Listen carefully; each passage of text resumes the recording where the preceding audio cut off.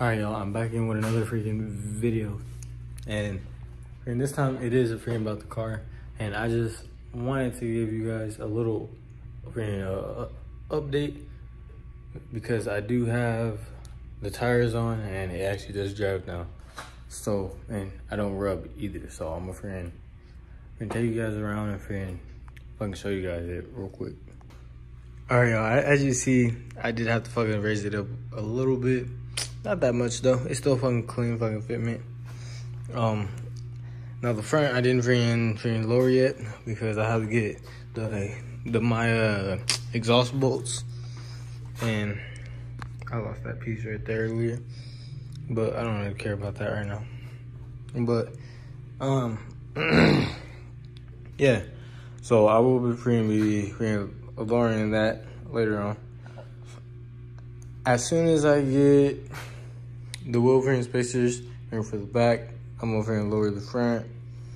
And then I want to do other stuff, but you guys just gotta stay tuned for that. Also, my brother got his ring banner today, but guys, just just be prepared for me to bring lower. The front of it, I know, fucking fitment is not that damn good on this damn car, but guys, I, like I just wanted to let you guys know that. So this will be fucking looking a lot more look better than it did at first. And stay tuned. I will be doing a lot more free and uh, driving videos of my car. So, so if you guys like car videos, then then stay tuned for for this. Don't mind the fucking fitment like right now because I just fucking lowered it, fucking put the tires, and now I just gotta, I got to, um, I gotta get spacers and I gotta frame roll out my frame fender. That's it with the back and then with the front.